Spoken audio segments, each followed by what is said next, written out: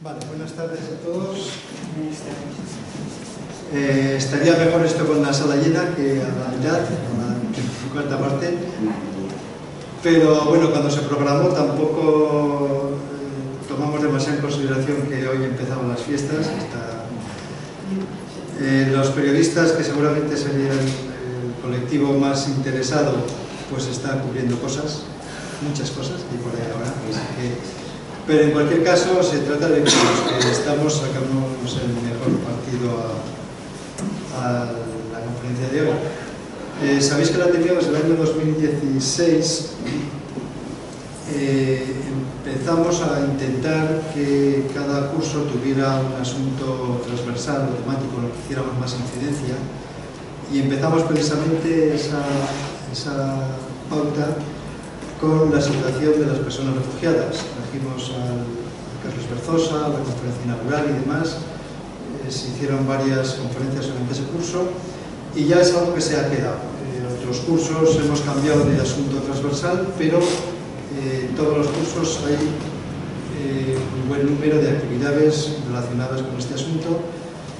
Desde, hace, desde el curso pasado ya le hemos denominado miradas refugiadas al ciclo que hacemos por lo menos una vez al año. Eh, en este curso, en esta tercera edición de Miradas Refugiadas, ha habido, esta sería la tercera conferencia, la primera fue dedicada a una, dar una mirada feminista específica al drama de los refugiados.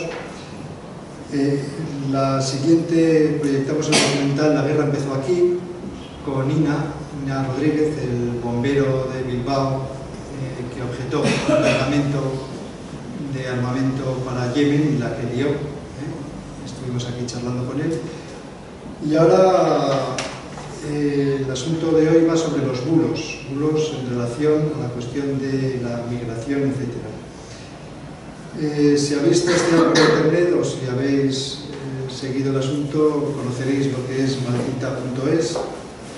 Dice en su web un medio sin ánimo de lucro, como, cuyo fin es dotar a los ciudadanos de herramientas para que no te la cuelen. A partir de Maldita Hemeroteca fue saliendo Maldito Bulo, Maldita Ciencia, Maldito Dato. Se centran en el eh, control de la desinformación y el discurso público mediante técnicas de verificación de hechos, periodismo de datos, etc. Eh, es una asociación sin ánimo de lucro, como he dicho, con tres objetivos principales monitorizar y controlar el discurso político y promover la transparencia en las instituciones públicas y privadas, verificar y luchar contra la desinformación y promover la alfabetización mediática. Eh, supongo que nos, ahora mismo nos explicarán eh, un poco más eh, la actividad de maldita.es y para ello tenemos a Julie Jara.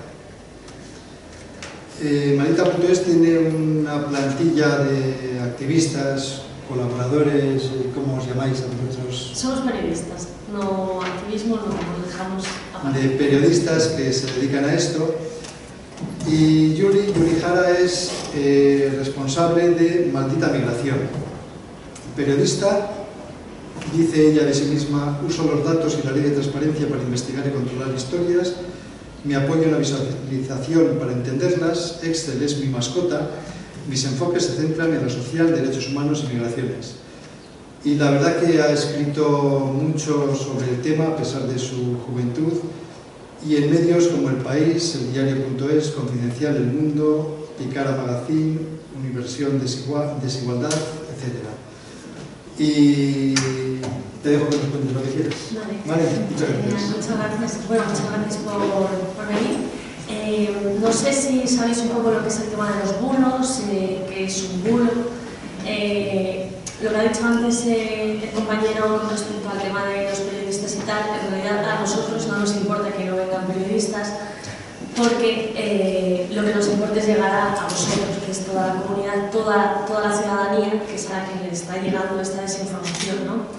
Maldita.es nació hace ya cinco años, no sé si os suena tal vez Maldita Hemeroteca en la televisión, que estábamos eh, Julio y Clara hablando de, lo que decían los discursos políticos y las contradicciones que había. Entonces, eh, después de los cinco años, eh, nació Maldito Bulo y después Maldita, y después de Maldito Bulo, varias pequeñas ramas que son Maldita Ciencia, Maldito Dato, Maldita, Maldito Feminismo hace poco y también Maldita Migración. Entonces, esto es un poco, ahora os explico de qué va todo esto, pero si queréis y os parece bien, esto también puede ser una charla, podemos hablar qué es lo que os preocupa, qué es, lo que, qué es la desinformación que os llega, eh, pero primero vamos a saber qué es primero toda esta desinformación, ¿no? Bueno, a ver. Eh, nosotros sabemos que en Maldita eh, llevamos Internet encima. Eh, todo el mundo, casi todo el mundo, se forma a través de las redes sociales. De hecho, ya casi muy pocas veces entramos a un medio, a no ser que seamos como muy asiduos a querernos informar. ponemos www.elpaís.eldiario.elmundo eh, lo que hacemos es informarnos a través de las redes sociales. Le damos a me gusta a una página y ya nos empiezan a llegar eh, esos contenidos. Eh, otras veces también nos llegan por WhatsApp mensajes, nos comparten nuestros familiares y amigos un mensaje en WhatsApp pues, con algún contenido que parece una noticia. Em, nos llegan cartelas en Facebook, en Instagram, todo en redes sociales, pero principalmente, sobre todo, nos interesa en todo esto WhatsApp, porque el 34% de la población se informa a través de ahí. Para nosotros, ¿qué es un bulo? Bueno, un bulo es todo el contenido que se mueve en redes sociales y que tratan de hacernos creer que es algo real. Muchas veces se reviste y parece que es eh, pues una web, parece seria, y además pone por un titular una foto y un cuerpo de la noticia y te da a entender que, que eso es información, ¿no? Por un lado. Por otro lado, es una frase en Facebook que nos dice eh, el otro día estaba yo en el Jardín de la Sede en Murcia y tened cuidado porque están intentando secuestrar a niños, eh, un hombre marroquí intentaba secuestrar a un niño. Esto parece que es muy obvio que, no, o no, que puede ser cierto o no, pero nos intentan colar y es ahí como tenemos que nosotros eh, entrar. Em, en Maldita somos un medio sin ánimo de lucro, porque creemos que Maldita es de todos y no debería de pertenecer a nadie, ni a nosotros mismos.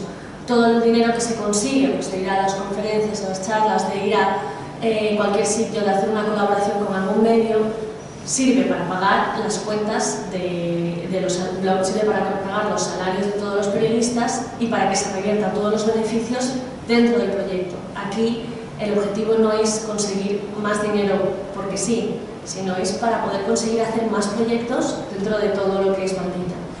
Entonces, eh, todos estos posts en Facebook, todos estos eh, mensajes que se mueven, empiezan con no te, lo, no te lo vas a creer, nadie te lo va a contar, solo te lo contamos nosotros, eh, esto tienes que pasarlo ya, difúndelo, sobre todo te genera mucha alarma y mucha sensación de, de, urgencia, ¿no? Entonces, de esos contenidos siempre decimos que hay que desconfiar. Os voy a poner ahora un par de ejemplos de qué es lo que es un bulo, pero bueno, maldita, lo que os he dicho antes, primero nace con maldita hemeroteca, después maldito bulo, maldito dato y maldita ciencia. Y hace poco maldita migración y también, bueno, maldito feminismo que me lo he dejado porque es mi compañera y se me ha olvidado ponérselo. Eh, como ya he dicho, somos un medio, la, pertenece a la comunidad, es decir, porque estéis vosotros aquí, maldita ya es vuestro, podéis ayudarnos eh, a combatir esta desinformación que hay y nuestro objetivo es hacer periodismo para que no nos la. También pertenecemos al International Fact Checking Network, que es una organización de medios de verificadores, que es lo que somos nosotros, en el que lo que hacemos es eh, avisarnos entre todos de pues, posibles bulos que se muevan en otras partes del mundo, eh, qué es lo que les está llegando a las redes, por ejemplo, en Brasil, temas que se mueven en Brasil llegan a España descontextualizados, temas que pasan aquí en Zaragoza, por ejemplo, llegan descontextualizados a otra parte del mundo en Europa. Entonces, eh, pertenecemos a esta red, pero no solo es avisarnos, sino también nos exigen una serie de criterios y baremos muy, muy, muy altos. ¿no? Por ejemplo, ser transparentes en nuestras cuentas, ser transparentes en nuestra metodología, cómo decidimos que ese contenido es verdad o falso, porque al fin y al cabo estamos jugando con muchas cosas y es con eh, creérselo o no. O sea, esto no va de solo hacer periodismo, sino de que qué es real y qué no es real en un momento en el que nada parece sostenerse nada parece que, que, podamos creernos. ¿no? Eh, nos exigen también, por ejemplo, ser, aparte, eh, parte, ser eh, activistas, pero no estamos en nuestro, en nuestro ámbito privado, es decir, nosotros eh, nuestro activismo no lo vamos a llevar nunca fuera eh, en nombre de Maldita eh, y de la misma forma en el tema político. Maldita Migración nace pues, pues, es un proyecto, en este caso financiado por Oxfam, que es el máximo criterio que se le pidió a Oxfam fue que no entrase en la línea editorial. Oxfam nos da el dinero para poder sacar adelante este proyecto en Maldita Migración pero no entra en ningún momento en la línea editorial de qué sacar y qué no sacar. Si hay algún desmentido, alguna información que le puede interesar o no, ya veremos, o sea, nosotros decidiremos si sacar o no. En ese momento, hasta, hasta ahora que lleva el proyecto Maldita Migración, no ha sucedido nada que tenga que haber algún problema o algún debate, o sea que por ese lado. Nosotros somos un proyecto coral, no trabajamos solo para desmentir bulos, sino que además damos información a la gente que sepa, eh, pues, por ejemplo, qué se va a votar en, en estas pasadas elecciones, quién podía votar y quién no. Mucha gente sabía y daba por hecho que, todo el mundo puede votar, todos los españoles, pero no todas las personas migrantes pueden votar, aunque lleven aquí viviendo más de 10 años, porque no tienen eh, pues, el, permiso, el derecho a ejercer el voto. Eh, además, nosotros, eh, Maldita, Maldita Migración, trabaja con otros medios en colaboración, que es con Julia en la Onda y con el diario.es. Hacemos una entrega semanal todas las, todas las semanas, todos los martes, para el diario.es, desmintiendo algún bulo, alguna compilación de, que cumpla una serie de patrones de bulo. Y, es importante para nosotros eso también llegar a más medios, porque aunque nos quedemos aquí en maldita.es, mucha gente no tiene por qué, vamos, es que no nos conoce nadie comparado con, con los medios y los grandes medios y por eso queremos llegar a prensa escrita, radio, televisión, eh, para que nos ayuden a combatir esa desinformación. Maldita migración surge porque existe desinformación en redes, pero es que uno de cada tres posibles bulos que nos llegan a la redacción tienen que ver con personas migrantes y refugiadas. Es decir, la mayor parte de lo que desmentimos es en torno a esta temática, es decir, se crean muchísimos bulos, muchísima desinformación, muchísimo contenido y sobre todo eh, orientado a generar odio con respecto a esta temática. La otra pata tiene que ver con feminismo y la otra pata, eh, la otra pata con información política. Pues, por ejemplo, ahora se han movido muchísimo las elecciones el tema de pucherazos, el tema de, por ejemplo, eh, hay una foto que dice que esta papeleta, porque tiene una impresión distinta a las demás, no te va a dejar votar. Em, entonces eso genera mucha alarma y eso es lo que también nosotros entramos a ver y a contactar con los si es cierto o no que nos va a permitir votar esa papeleta o no. Em, bueno, ha habido elecciones, esto no lo he corregido, pero ha habido elecciones, era importante para nosotros que la gente que fuese a votar lo hiciese sabiendo la realidad, sabiendo eh, los datos y hechos, porque nosotros no entramos así en general a conceptos eh, genéricos, como hay corrupción, hay no sé qué.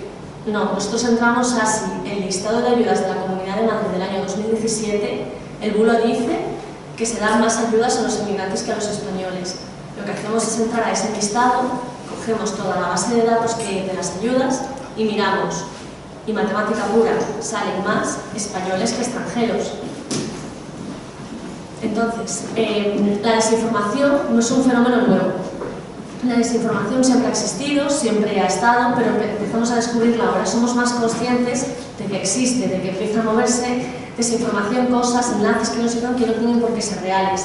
Lo que estamos viendo mucho ahora también es, por ejemplo, estafas. Muchas estafas, muchos timos con caras de famosos, con, con encuestas, supuestas encuestas para de estudios de mercado que no sabes muy bien luego qué va a pasar con tus datos, nos llegan ofertas de Mercadona que dicen que están ofreciendo vales para, pues de, 100 euros para tu próxima compra y a lo mejor no es real. Em, nos estamos dando cuenta ahora de que esta desinformación eh, somos más conscientes de ella. También tiene que ver porque um, han sucedido tres hechos muy importantes, uno de ellos es la victoria de Trump, y cómo la desinformación jugó eh, un papel muy importante. Con la crisis de refugiados, con la llegada del acuerdo, vimos eh, cuando Pedro Sánchez anunció que además se formó de manera mediática, muchísimos medios se acreditaron para cubrir ese momento en el que aceptaban que iban a llegar eh, refugiados y los iba a acoger España. Se generaron muchísimos bulos en ese día y en los días siguientes. Y otro de los temas que, por ejemplo, también nos han dicho y nos hicimos y fue clave para Maldita ver que había desinformación fue el tema de Cataluña. ¿Por qué? Porque nos dimos cuenta que la desinformación no se generaba solo de un lado o de otro, sino que se generaba de todas partes, de todos los lados. Eh, hace poco, eh, y fue un claro ejemplo de, de desinformación que venía de los dos lados, era de una chica esnifando cocaína. No sé, bueno, cocaína o lo que estuviese esnifando. Decía, eh, nos llegaron varios tweets, varios mensajes y varios posts en Facebook diciendo que esa persona era eh, de Podemos, por un lado, y por otro lado era de Ciudadanos. No era ni de Podemos ni de Ciudadanos, era eh, el tweet se había originado en Argentina. No podemos saber si a lo mejor esa persona era diputada o no de algún partido en Argentina, pero no es, además mirando las listas, no es de ninguno de estos dos partidos que dicen. Como ya he dicho, varios tipos de bulos, de los de políticos, los de odio, que tienen que ver con un poco de migración, salud y ciencia, sobre todo porque nos, nos hemos dado cuenta de que hay muchísima desinformación con el tema de la salud eh, hoy en día. Eh, muchas veces eh, nuestra lucha está con el tema de, de las pseudociencias, el problema de la homeopatía, que te dicen que a lo mejor por comerte un limón te va a curar el cáncer mucha gente eh, pues dice esto es una tontería, pero es que se dijo en la televisión y es un tema que genera mucha, mucha, mucha desinformación. También con el tema de alertas falsas, por ejemplo, te dicen que está, eh, te llega una cadena de WhatsApp diciéndote que eh, hay, mm, se está, están subiendo los bomberos de, de, Portugal a Vigo porque no hay bomberos en España que, que apaguen esos incendios, que había incendios, hubo unos incendios muy fuertes en Galicia, en esa zona, eh, decía que había muchos más bomberos eh, subiendo de Vigo, por las perdón, subiendo de Portugal, que, por, que, por, que, que no, está, no, había bomberos en España. ¿no? Eh, entonces ahora os voy a poner un par de ejemplos de bulos que nos parecen muy importantes e interesantes también, sobre todo porque todos somos eh, posibles que todos somos, perdón, todos podemos caer en un bulo. Por ejemplo, a mí cuando yo empecé, acababa de empezar tres días en Maldita, me llegó una cartela en WhatsApp que me dijo una, mi prima, eh, oye, pásalo si quieres porque esto es una cartela que ponía eh, que se regalaban perritos, perritos labradores y que pásalo que a ver si te interesa y a ver si quieres tú algún perrito. Y dije, ah, pues sí, joder, no, no que yo lo quisiera, pero qué pena, ¿no? Que voy a pasarlo yo también. Y lo empecé a pasar y resulta que lo pasé a mi compañera de maldita.es y me dijo, Julie, entra por favor a la cuenta, a la portada y mira lo que hay. Estaba desmentido. Esos perritos, el número de teléfono ni siquiera eh, existía ya, o sea, no daba ni tono ni señal. Era un muro que se había movido en Argentina, en Brasil y que nos había llegado a nosotros y que me había llegado a mí. Todos somos eh, personas que podemos caer porque, en un muro porque no estamos vacunados contra el odio, ni la mentira, ni con toda esta eh, desinformación. Entonces, esta es la página web de Maldita. Eh, como veis es un estilo un poco, parece un poco bastante cutre, pero lo que vemos es que lo cutre se viraliza y con eso además también nos permite hacerlo todo muy rápido. Yo la forma de montar una cartela, que es esto, eh, es en Paint. Eh, con ordenador rápido lo montamos y desmentimos además de esta forma. No, la deuda que dejó el PP no es más del doble de la que recibió cuando entró en el gobierno. Esto justo lo acabamos de desmentir porque era un, post que se estaba moviendo eh, en las redes. Entonces damos datos, como veis, damos datos, empezamos a informar de todo lo que es. Eh, por ejemplo, a ver otro... ¿Qué sabemos del medicamento contra el Alzheimer? Supuesta, bueno, esto es lo que se ha movido muchísimo ahora esta semana eh, con respecto a una a una farmacéutica que ocultó aparentemente que había pasado con que, que, sabía que había encontrado resultados que podrían prevenir el Alzheimer. ¿no? En estos casos, eh, lo que hacemos muchas veces cuando vemos que eh, hay información que se mueve y que genera muchísima conmoción, también por ejemplo de la eutanasia, la chica que, eh, la supuesta eutanasia, la chica que, es, que, la, que había pedido la eutanasia la había recibido en Holanda porque había sufrido agresiones, eh, había que aportar luz.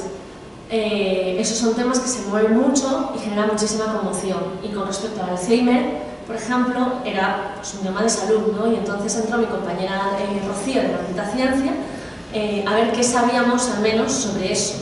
Lo que sabemos es que es una publicación y una investigación del Washington Post y que eh, la farmacéutica, bueno, una serie de criterios había decidido eh, no publicar esa información y lo que sea, pero no podemos decir que sea un bulo, no sea un bulo, todo lo que se mueve porque eh, hay veces que hay que aportar contexto. con respecto a lo de la eutanasia, por ejemplo, que es lo que a lo mejor tenéis más reciente, lo que empezamos a ver era que muchísimos medios empezaban a replicar en sus, en sus, en sus cabeceras que esta chica había fallecido por eutanasia. Bueno, había fallecido, no, se le había aplicado la eutanasia. sale. Entonces, bueno, aquí tenéis para buscarlos. Eh, no sé por qué no me sale.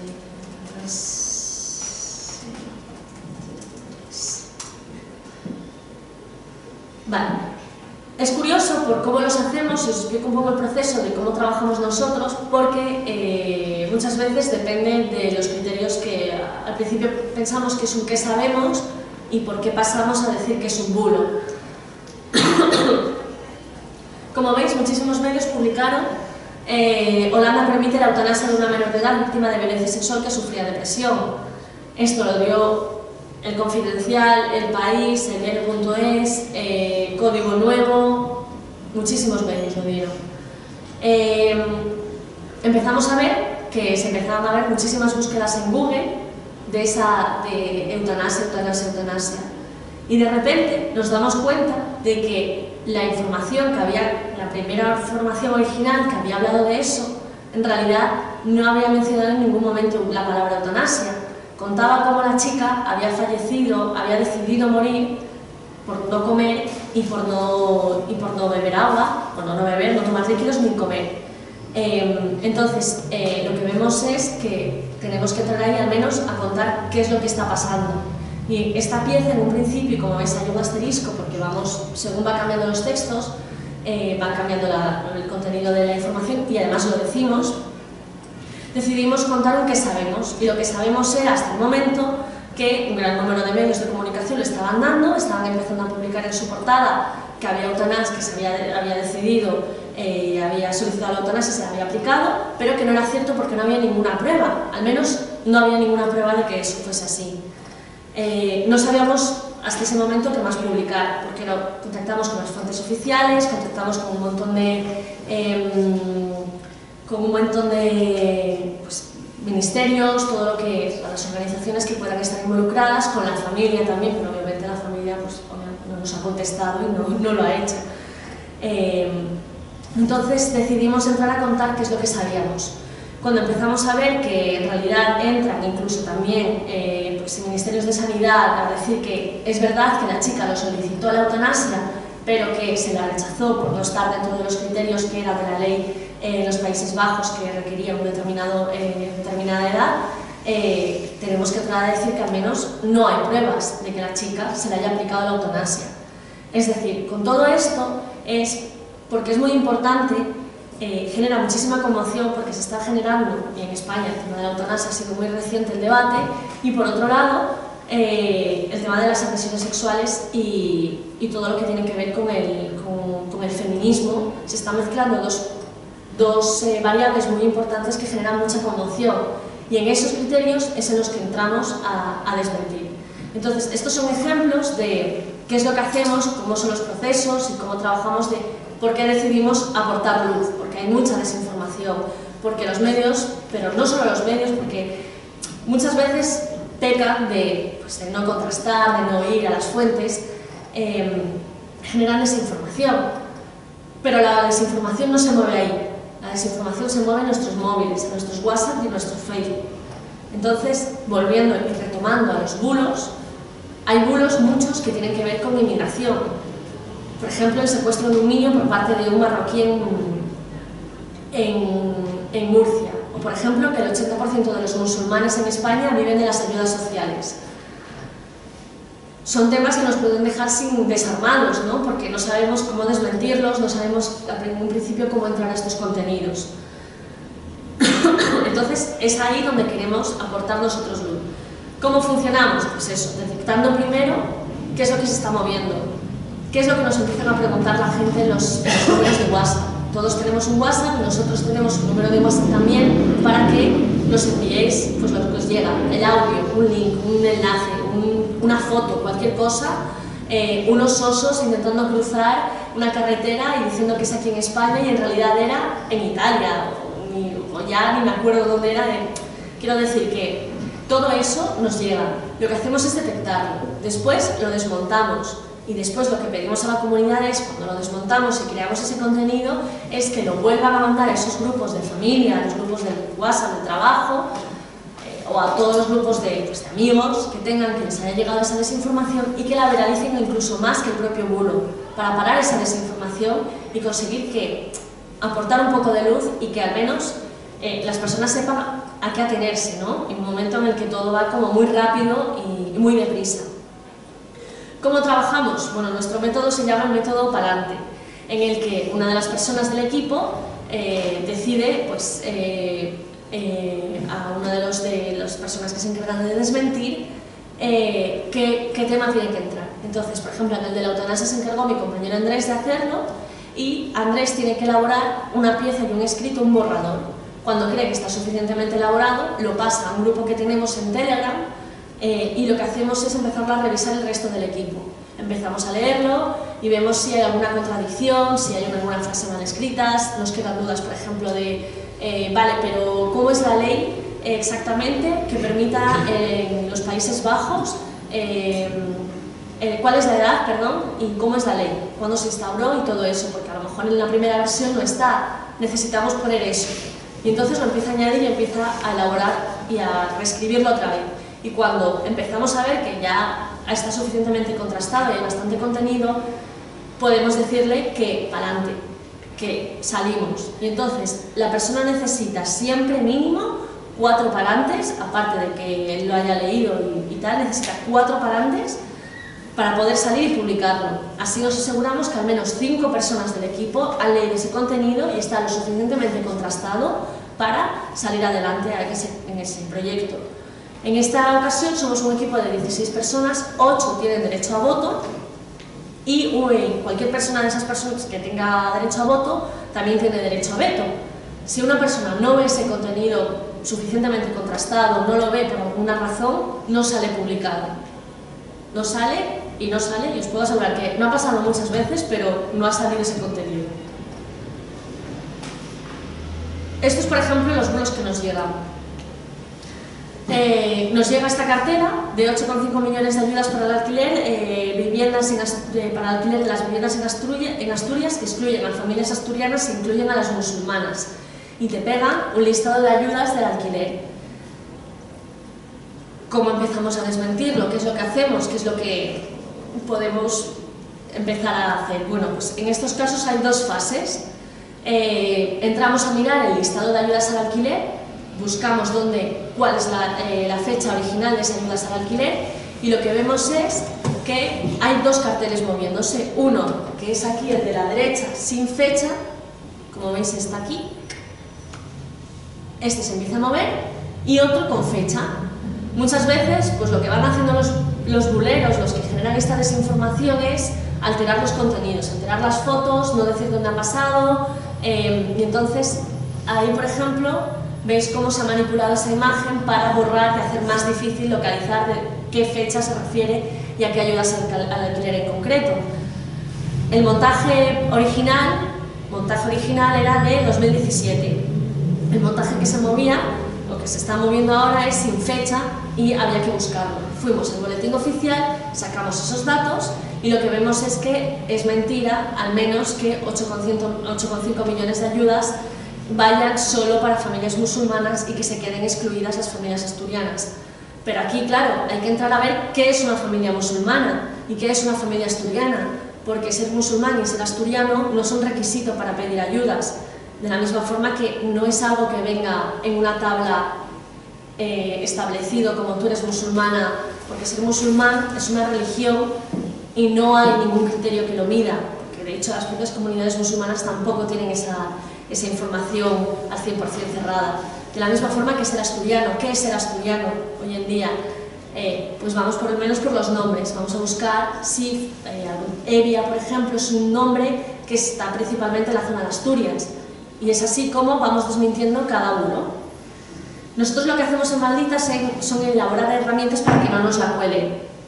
Por ejemplo, tenemos el buscador para que todos nosotros podamos entrar a buscar esos, esos bulos que hay, eh, por palabras clave, por ejemplo poniendo eutanasia, que no lo han puesto, entonces debería de hay algo ahí mal, pero por ejemplo poniendo musulmanes, nos tienen que salir aquí todos los desmentidos que se han hecho con musulmanes. Y entonces aquí es muy importante porque, como veis, hay muchos eh, bulos que a lo mejor no se han llegado, que hay que tener mucho cuidado. Esto no sé si lo habéis visto en vuestras redes, se supone que dice eh, es comida tirada en la basura, o tirada o depositada ahí, tirada en la basura y colocada perfectamente, y en una de las fotos, en la foto de la derecha y en la foto de la izquierda está tirada sobre el césped. Lo que dicen los mensajes, los buleros, es musulmanes echando la comida que les da Cáritas y Cruz Roja al contenedor de la basura, mientras tanto hay españoles pasando hambre y viviendo en la calle. ¿Esto es cierto? ¿No es cierto? Lo único que podemos decir aquí es que hay que tener cuidado con estas fotos. No te puedo decir yo, desde maldita.es, que no sea cierto que no lo hayan tirado, porque no se ve a nadie.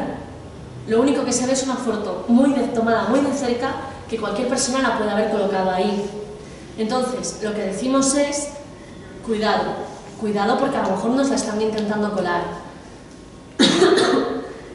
sí que es cierto que algunos medicamentos, o sea, perdón, algunos em, alimentos puedan pertenecer a bancos de alimentos eh, y tal, pero eso no quiere decir que haya sido tirado por musulmanes. Otro vídeo que se estaba moviendo, este es por ejemplo otro que decía Castellón, Parque del Lago de la Cruz Roja, musulmanes tirando la comida que les da Cáritas, Cruz Roja y ancianos españoles buscando comida en la basura. Eso no se puede permitir, es un disparate. Cuando te llega esto, te genera mucha, mucho enfado. Te genera mucho enfado y mucha molestia y cargas contra los, contra quién han señalado, pues contra los musulmanes. Lo que hacemos para entrar aquí a desmentir es preguntar y buscar si existe al menos un parque cerca de Castellón y cerca de la Cruz Roja. Y sí que es verdad que existía, y existe, y estaba ahí. Preguntamos a Cruz Roja y efectivamente nos dicen, es que no sabemos si eso se lo han tirado o no, no sabemos ni siquiera si esos alimentos nos pertenecen. Pero curiosamente, buscando en internet nosotros eh, las herramientas y tal, vemos que esta foto no se ha movido en Castellón, que ya se movió tres meses antes en Talavera, en Talavera La Real, en Badajoz, si no me equivoco. Y es de hace el 4 de diciembre de 2018.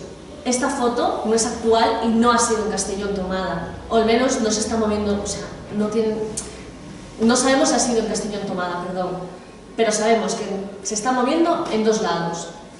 ¿Cuál es cierto? Al menos tenemos que decir que hay que tener cuidado con estos contenidos. Más ejemplos de bulo. Hay muchos que se mueven en audio, generan muchísimas emociones. Nos genera mucho enfado y además, como son muy cercanos, como es una voz la que te habla por WhatsApp, te lo llegas a creer. Entonces nos pueden decir cosas como estas. A ver si se oye. Solo comentaros algo que nos, dijo mi hijo el sábado. Eh, un compañero suyo, que es policía de Murcia, iba por Mafre, por ahí, por la estancia de mar, en su coche y una señora, una chica, un cuarenta y tantos años, pidió ayuda, que estaba mal, se bajó del coche y tres hermanos le agredieron, le dieron una paliza, le, rompieron una mandíbula, total, que lo dejaron hecho un físico.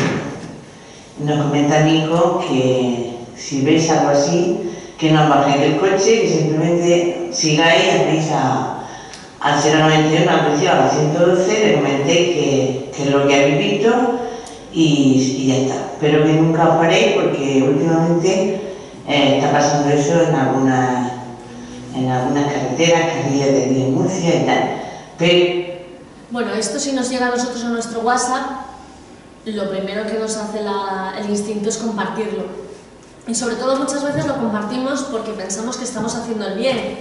Yo esto lo paso y lo podría pasar a mi familia, sobre todo para que tengan cuidado eh, y, y, ya está. O sea, son, son temas que se comparten y muchas veces pensamos que no, no estamos haciendo el mal, que de hecho estamos haciendo el bien.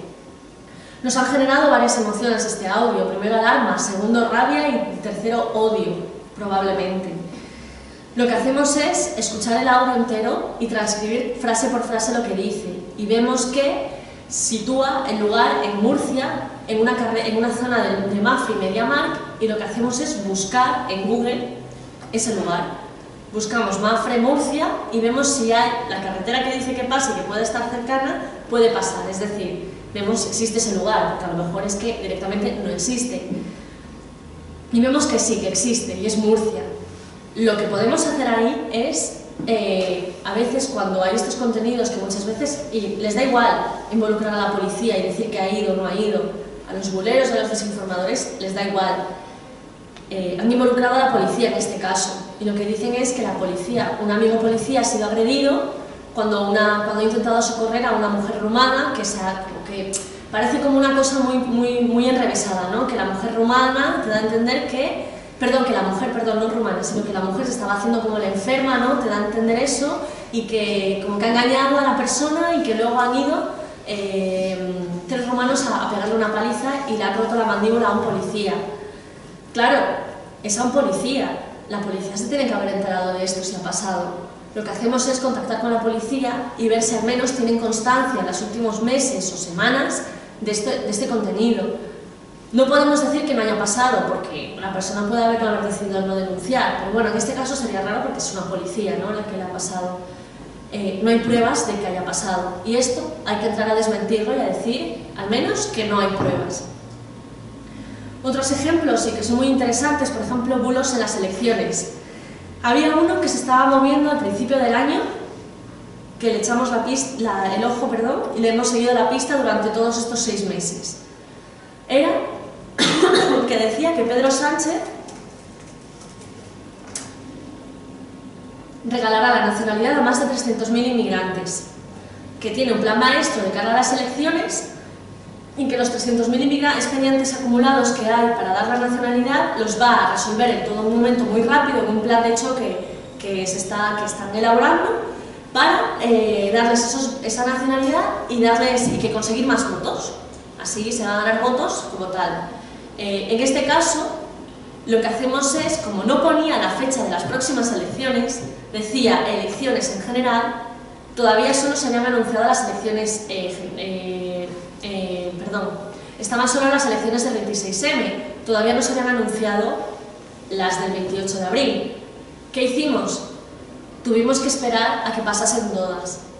Y una vez pasaron todas, fue cuando pudimos entrar a desmentir que era completamente falso esto. Primero, porque no se han dado la nacionalidad a 300.000 personas. Se han dado de enero a abril a 16.000 personas. Segundo, porque los censos, porque vamos a la ley y buscamos en la legislación cuándo se cierran los censos, para que cuando los censos están cerrados ya no se puede modificar y tú ya no puedes incluirte ni para poder votar. Cuando se cierra la fecha de los censos y estaban cerrados para las elecciones generales en diciembre, es decir, las personas que consiguiesen la nacionalidad después ya no podrían votar y las del 26 de 26M, autonómicas, municipales y europeas, estaban cerradas para enero. En todo caso, las personas que hubiesen tenido derecho a voto, que hubiesen conseguido la nacionalidad, hubiesen sido 5.000 personas, no 300.000 de las que decía este bulo. Lo que hacemos es seguirle la pista a los bulos. Otro bulo que conseguimos demostrar, y como veis, eh, muchas veces se revisten las páginas web, porque no son medios, son páginas web, se revisten de aparente medio de comunicación. Parece un titular, una foto, te da una sensación, un cuerpo de la noticia y te da la sensación de que puede ser real. Cuidado, porque ahora son las webs también las que se, las que se mueven así. Otro bulo que nos estaba moviendo era de un partido musulmán llamado Prune, que decía eh, la cadena que iba a conseguir un montón de votos. A ver si encuentro la cadena exacta.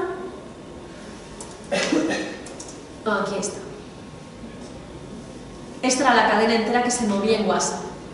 Prune, el primer partido musulmán a escala nacional, se presentará a las alcaldías de Zaragoza, Granada, Zaragoza, Murcia, Alicante y, eh, Gerona.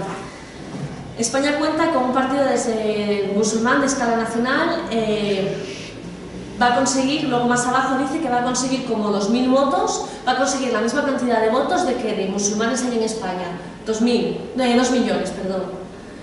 Claro, tú no sabes, primero, eh, dices, joder, 2 millones, pues parece muchísimo, y encima se va a presentar en decenas de municipios, porque más abajo lo dice, madre mía, parece que esto va a ser que nos, nos van a instaurar la ley islámica, como dicen muchas veces, ¿no?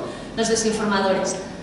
Lo que hacemos es, primero, preguntamos y empezamos a contactar con el partido y les preguntamos si se, se tienen pensado presentar a esas, a esas alcaldías. Y dicen, pues no lo sé, sí, a todas. Claro, pero eso no me sirve para mí desmentir.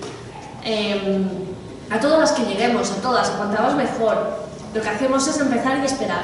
Y hemos esperado hasta las elecciones y hemos visto, perdón, eh, hemos esperado dos fases. Primero, el cierre de listas. El cierre de listas, cuando se hizo, aparecen todos los candidatos y dónde se han presentado los partidos. Y se presentaron solo, en decenas de municipio y en ninguna de Granada, Zaragoza, Murcia, Alicante y Gerona.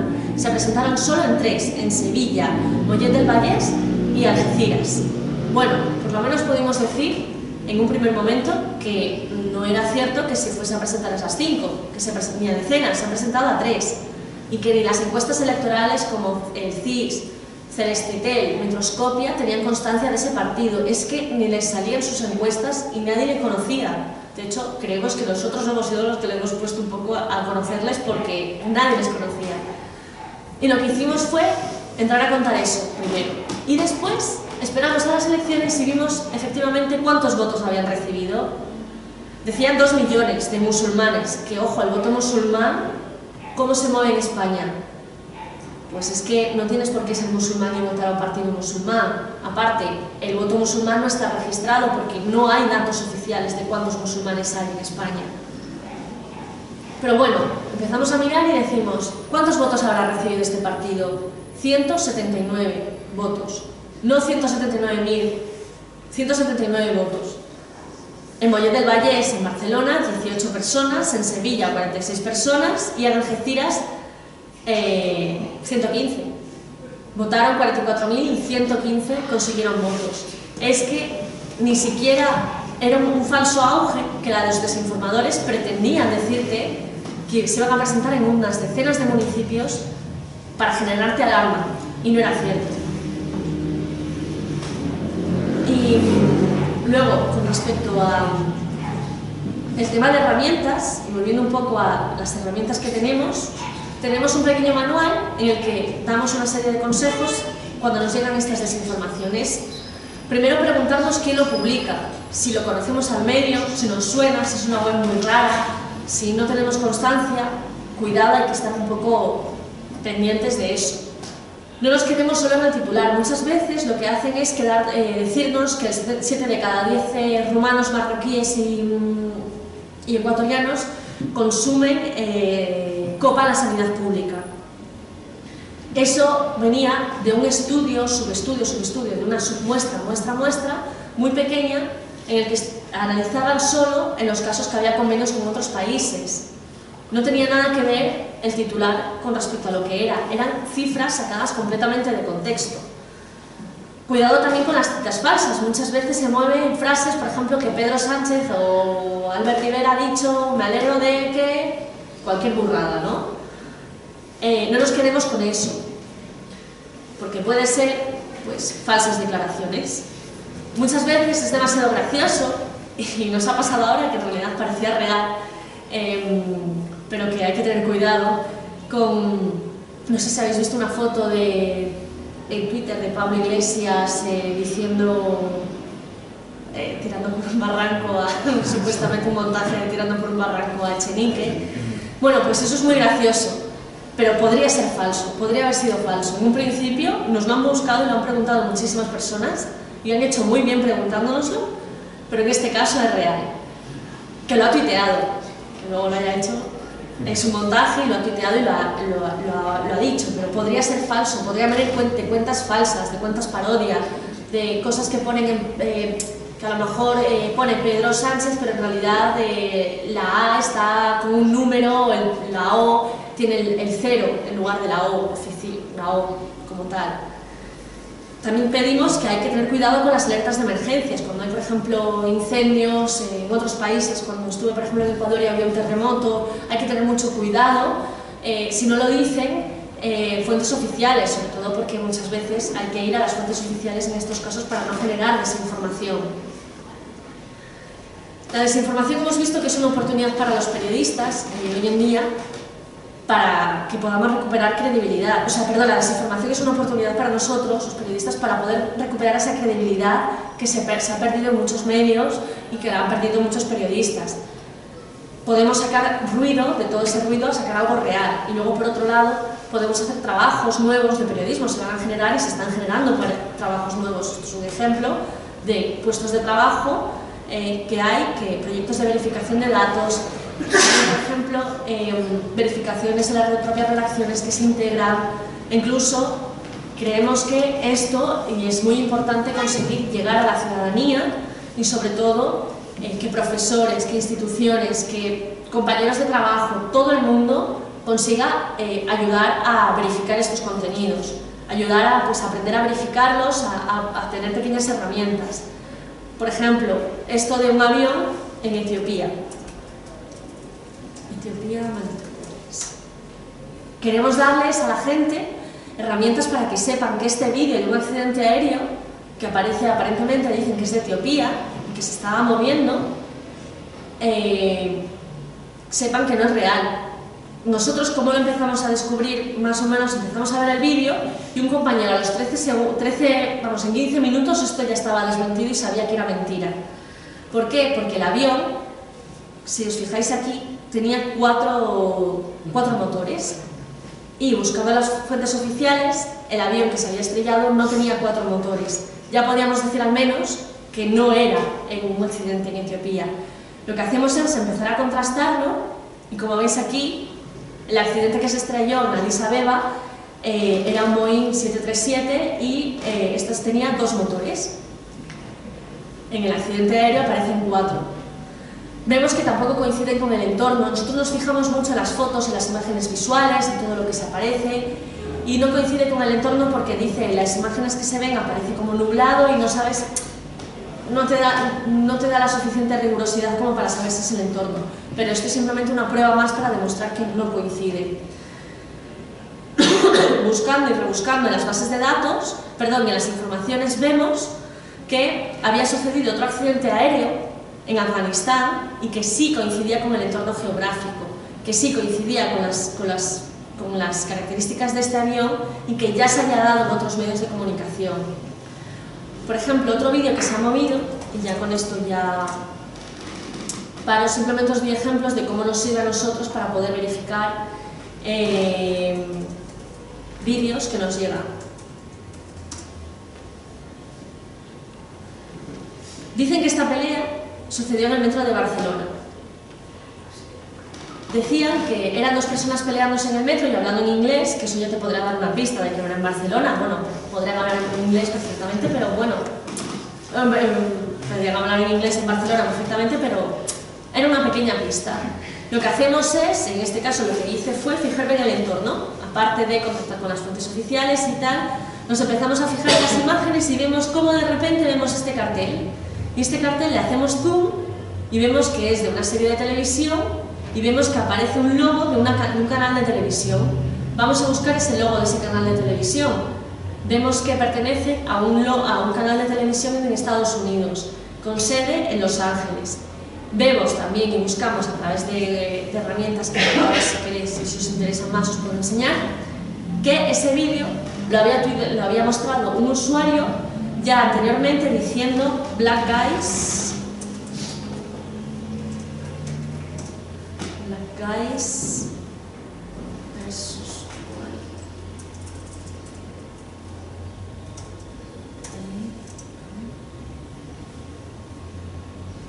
Uy,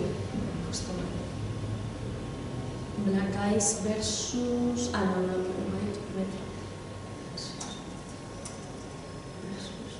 Los No sé si me sale. No, no me sale.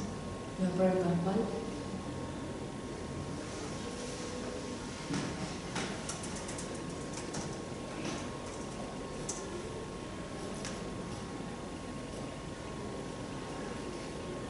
¿sí?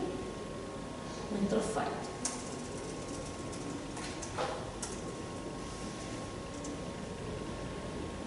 Lo han borrado. Parece borrado. Muchas veces lo que vemos es que también se borran muchos contenidos. Este.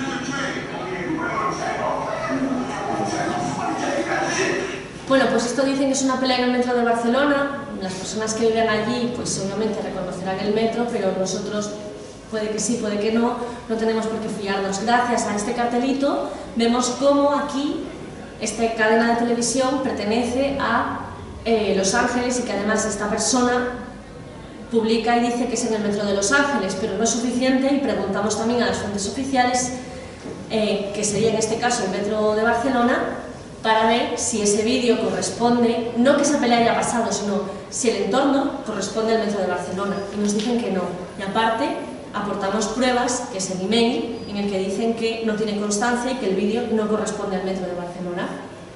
Entonces, eh, yo creo que hasta aquí es un poco lo que os he explicado de los bulos, los WhatsApp, no sé si queréis hablar alguna cosa más, eh, ¿tenéis dudas? Tengo varias.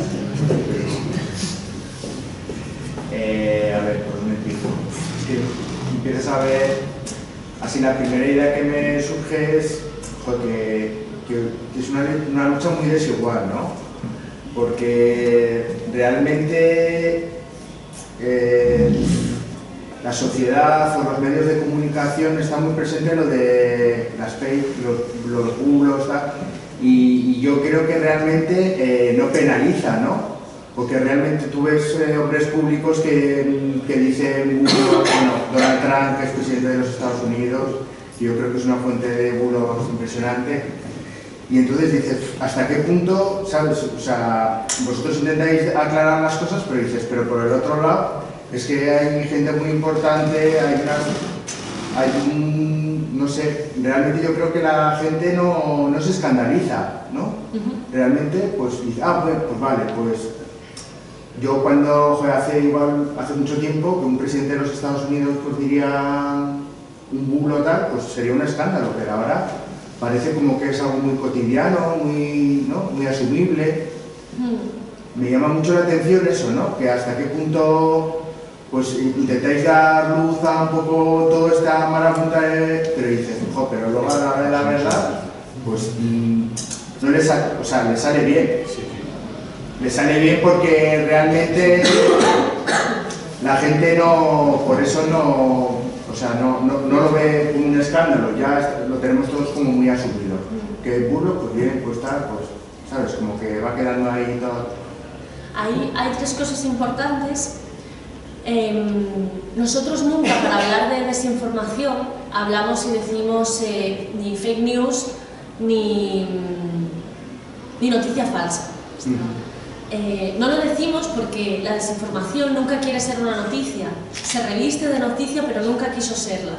Eso es como el primer consejo que podemos dar, de decir que cuando hablemos de desinformación, digamos bulos, desinformación, webs, pero no son medios, eh, no son datos lo que aportan, son cifras, eh, y no es fake news, porque nunca es una noticia, porque una noticia falsa en todo caso sería pues, a lo mejor que me he confundido, una errata o efectivamente alguna equivocación, pero estas tienen otra intención y es generar, generar tres cosas. Una, un determinado estado de opinión, otra, generar dinero, porque muchas veces, por ejemplo, los timos no quieren generarte un estado de opinión, sino mandarte un enlace para crear, contener tus datos, o quedarse con tus datos bancarios y generar dinero, o meterse a la web y que generar visitas porque entrando tienes eh, más dinero y poder, consigues monetizar. Y otra, por hacer el mal, porque mucha gente pues, es mala y quiere hacer el mal. Luego, eh, con respecto al tema de, de hasta qué punto podemos llegar, somos conscientes de que nosotros no hablamos para la gente que ya está convencida, ni de un lado ni del otro. De hecho, el nombre Maldita Migración muchas veces tiene mucha controversia y la primera vez que salió fue como que no le gustó a nadie, ni a las personas más a favor ni a las más en contra. Em, no informamos para ellos, informamos o al menos intentamos arrojar luz para las personas que son susceptibles de creerse ese contenido. Para mi madre, para mi prima, eh, para mí misma también, que por ejemplo yo digo, este, ¿esta foto es real o no es real? Eh, de lo, que, pues lo de Pablo, ¿no? de Pablo Iglesias. Em, eh, muchas veces sí que es una lucha que dices, bueno, puede ser como sin sentido, pero es que es estas personas que en verdad es que se lo están creyendo y que no tienen herramientas para combatirlas tampoco, esos contenidos. No, saben, por ejemplo, muchas veces pues caemos en que ser marroquí es igual a ser musulmán o ser musulmán es igual a ser marroquí. Una religión no tiene nada que ver con la nacionalidad, o incluso hay una cartela que, por ejemplo, estamos ahora intentando desmentir, que es, a ver si os la puedo enseñar, es... bueno, como veis tenemos un montón de grupos de, para hablar. Eh, Em, es... no, ¿dónde está? Bueno, sí, creo que aquí.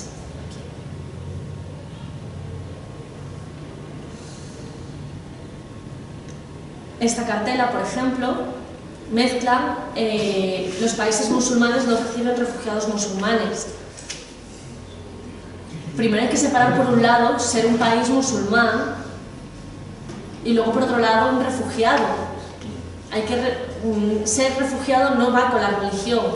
Eso entonces, muchas veces nos faltan herramientas, eso es lo que queremos dar, decirte, bueno, primero que diferencia al menos un bulero cuando va a hacer el bulo, o que sabemos que no que lo hace porque quiere, eh, bueno, lo sabemos, pero vemos que es así, em, eh, decirle que, que, al menos que, que países musulmanes Mm, está rayado completamente y al menos tú saberlo y ser consciente de que, de que no. Por otro lado, em, con respecto al tema de hasta qué punto hay que, em, hay que entrar a estos contenidos, cómo penalizar, ¿no? Te refieres a algo así, me has preguntado al principio, ¿cómo penalizar esto? Eh, Maldita pertenece al grupo de expertos de la, de, de la Unión Europea de, de tema de desinformación en el que las primeras conclusiones que se llegaron es que no se podía legislar eh, en torno a este tema, ni para penalizar, ni para nada, sobre todo porque estamos en una fase muy temprana de la desinformación. Creemos que esto, pues no sabemos a qué va a derivar, pero estamos en unos inicios muy prontos todavía de la desinformación. Segundo, porque la libertad de expresión y la desinformación hay una línea muy, muy, muy fina que es muy difícil eh, que se pueda traspasar. Y por otro lado, esa línea tan fina, eh, claro, es muy, polémico, o sea, es muy polémico ese tema de, legislar y, quién decidiría en todo caso, quién penaliza a quién. Lo que, lo que sabemos es que, al menos, y una de las cosas más importantes es eh, la alfabetización mediática. Maldita lanzado ahora, eh, ya lo, teníamos, ya lo llevábamos haciendo, pero bueno, hemos decidido crear un pequeño portal que es Educa Maldita, en el que queremos ir pues eso, a las instituciones, a los colegios, que los profesores, nuestros profesoras, cojan todos esos contenidos y los utilicen, porque maldita es de todos y que en realidad no está en juego ni el periodismo, ni en realidad no está en juego nada de nosotros ni nada, está en juego la credibilidad y saber qué es real, de qué no es, y que en un momento en el que hay que, eh, pues todo está batallando, que por lo menos la gente sepa, ¿no? Y tenga esas herramientas y que conozca, pues, vale, los datos no dicen esto, al menos puedo decirle a esta persona que es susceptible de creérselo, que no es así. No sé si te ha ayudado un poco. Sí.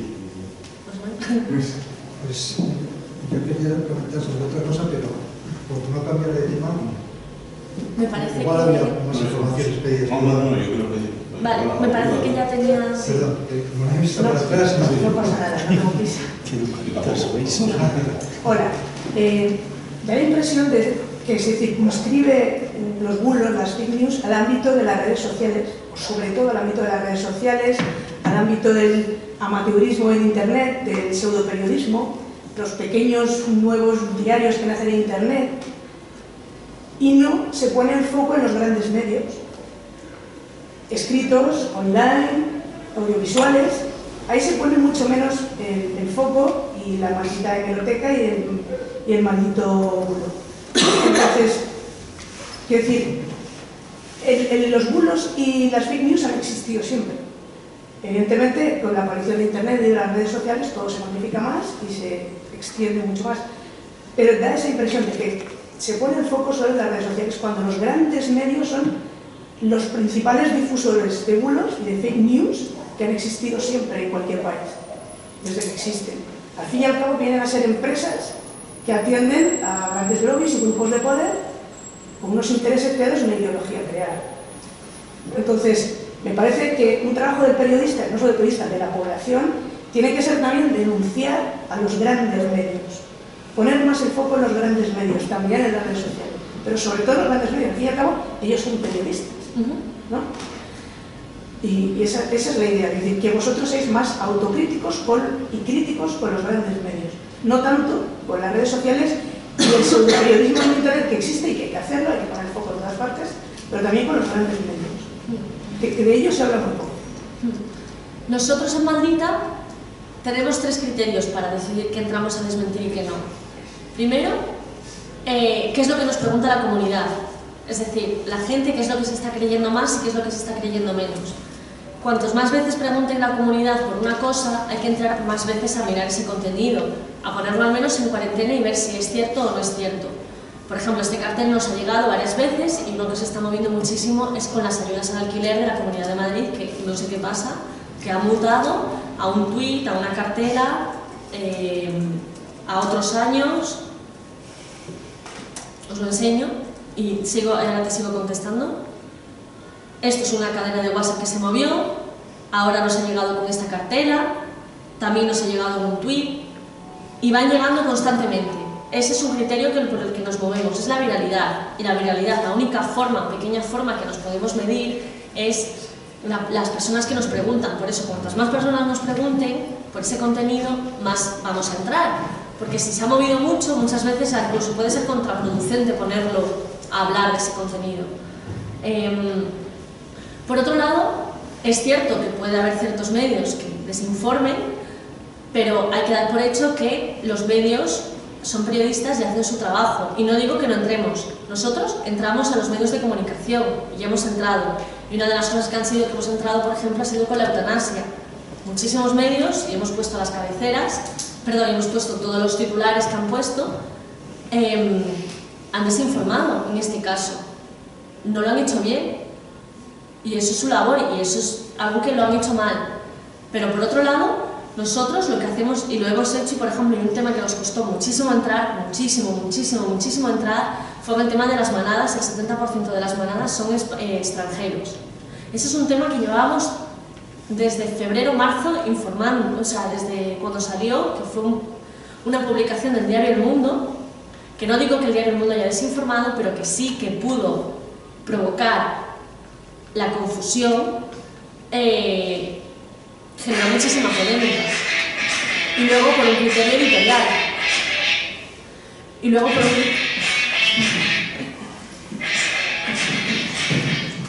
Mira, este es el más.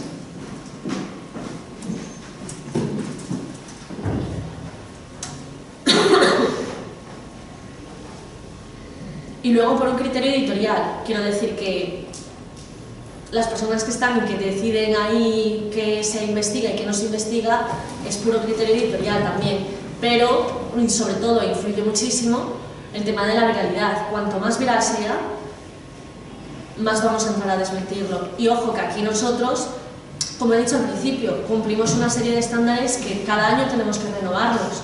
Si el International Fact Checking Network considera que hemos hecho bien nuestro trabajo, seremos penalizados por ello o que nos quitarán esa cacharrito que tenemos de sello. Entonces, eh, nosotros pasamos muchos estándares y muchísima rigurosidad en todos los contenidos. ¿Los medios desinforman? Sí, pero es que ellos no son los principales desinformadores. Los principales desinformadores se están moviendo en las redes y las desinformaciones se están moviendo principalmente en las redes.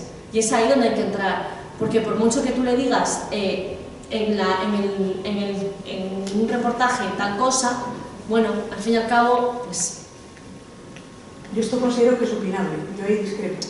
claro, Pienso que los principales desinformadores son los grandes medios. Es mi opinión. nosotros, claro, nosotros en cambio, a ver, es eh, opinativo todo y en qué porcentaje, qué no porcentaje. Nosotros vamos y nos movemos por tres criterios, viralidad, eh, por línea editorial y el otro que ya ni me acuerdo cuál he dicho, pero el que nos pregunta la comunidad y, y el que deciden y el que vemos que cuanto más se esté moviendo y que de hecho es que entramos. Este nos costó muchísimo y estuvo muchísimos meses parado, pero no porque fuese eh, el mundo, sino porque se generó muchísima desinformación. El 70% de las manadas de violadores son inmigrantes. Claro, porque el mundo publicó en su titular, en su cabecera, 350 hombres, entre paréntesis, el 30% españoles, están imputados. Pero dentro de su web sí que reconoce que no existen datos oficiales, mezcla dos datos de dos informes completamente distintos del año 2010 y del año 2017, perdón, entre 2016 y 2019, y son datos extrapolables. Sí, y de hecho, bueno, luego sí que es verdad, o sea, los medios desinforman, sí, pero yo no sé si más o menos. Nosotros vemos que son las redes. Dos reflexiones. La primera, bueno, supongo que sois conscientes de que vosotros lucháis contra la emoción a través de los datos y de la y es un combate desigual, supongo que eso seis conscientes de que, de que eso es. Y el segundo línea de combate en el que creo que también estáis en minoría es de cara a, al público al que deberíais llegar. Como en YouTube habrá gente que ya, aunque le llegues con todos los datos, con información, no, no te va a oír nunca. Pero al resto, ¿no? A los, y entonces me recuerdo un poco a lo de a la película que vi hace poco de Brexit sobre Cambridge Analytica, de, de, que, de sus algoritmos conseguían llegar a, a la gente que, que no llegaba habitualmente ningún otro medio, a los que no iban a votar, a los que... Entonces, ¿vosotros tenéis alguna estrategia de cara a poder llegar a donde no llegamos habitualmente? Eh, quiero decir, ¿cómo conseguir que vuestra información, digamos, utilice los medios casi de, de, de viralidad que utiliza la desinformación? No sé si me explico. ¿Cómo, ¿Cómo queremos llegar a más gente? Sí, o cómo podríamos intentar llegar a más gente a los que teóricamente no, no deberían escuchar nunca maldita es. Pues eh, nosotros sabemos que en Twitter solo estamos los periodistas y tres personas más. O sea, nos hablamos entre nosotros. En Facebook, bueno, pueden estar ya la gente un poco más mayor y tal. Instagram empieza a estar la gente joven. WhatsApp está casi todo el mundo. Y es ahí donde queremos llegar. Por eso cuando nosotros, por ejemplo, tenemos, intentamos llegar obviamente con la tecnología. En un, primer, en un primer momento usamos la tecnología, bots, bots en el buen sentido de la palabra, es decir, tú entras a la web de Maldita y le preguntas alguna cosa para no tener que contestar, porque a lo mejor no nos da tiempo, programamos informáticamente para que te contesten y tú pegas la URL y te salga si ya hemos trabajado en ese contenido o no. Primero usamos la tecnología y pedimos que eh, eh, que esa o sea, perdón, y lo que pedimos es que a toda la comunidad que nos ayuda, que nos pregunta y que nos sigue, que nos ayude. Porque es que nosotros no podemos sin la comunidad. Primero porque no, si no, no, sabemos qué se mueven en sus redes. Y segundo, porque nosotros no, no podemos llegar a todos esos grupos de WhatsApp. Por mucho que tengamos toda esa tecnología, por mucho que tengamos canales de difusión, por mucho que tengamos Twitter, Facebook y tal. Otra forma de llegar es con las colaboraciones con medios. Julia la Onda, estamos de lunes a viernes, desmintiendo bulos, contando no sé qué, la sección de maldita migración los miércoles, en Radio Nacional, eh, vamos a todo donde nos invitan, procuramos ir, pero no porque queramos nosotros que bien, sino porque aunque seáis tres personas, una persona, diez personas, mil, me da igual, todas las personas nos van a ayudar. Y porque es muy importante que nos ayude, porque una persona, la cantidad de contactos que tiene, que puede conocer y dar a conocer maldita, es muy grande. Y, y, y, en eso venía, o sea, tecnología, medios, alianzas con medios de comunicación para poder llegar en el diario.es, coordinador de radio, todos, Telemadrid también hemos estado en televisión española verificando el discurso de los políticos eh, y la comunidad. Yo creo que es la más importante, o sea, ni medios ni tecnología, la comunidad es principalmente donde hay que estar y es donde nosotros tenemos que estar y y, y, y, para nosotros somos conscientes de que, que, es ahí, que es esa persona la que le va a contar a su madre, a su tía, a su abuela, a su tío, a su abuelo, a quien sea, a su compañero de trabajo, todos esos contenidos que no son ciertos. O al menos que diga, mírate esto. Y para nosotros ya es suficiente. creo que ahí está el combate.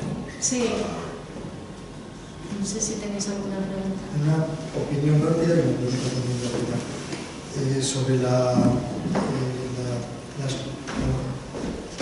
las consecuencias que tiene el hacer bulos y y, eh, yo creo que se peca de ingenuidad.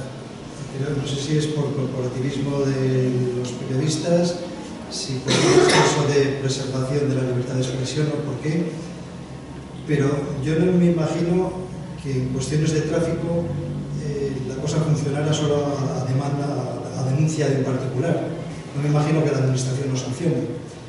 O que en un mercado se pueda vender comida podrida y se siga vendiendo a no ser que un particular denuncie.